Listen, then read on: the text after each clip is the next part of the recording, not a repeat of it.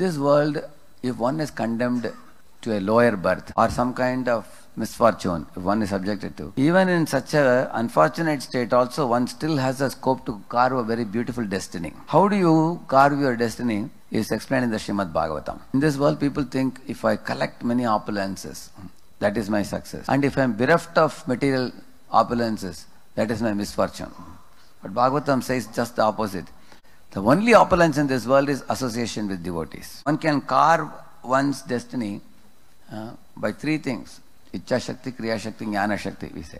Icha Shakti means desire. And Jnana Shakti means knowledge of what is the right thing to desire. And Kriya Shakti means act as per the association achieved. So these three things actually carve our future destiny.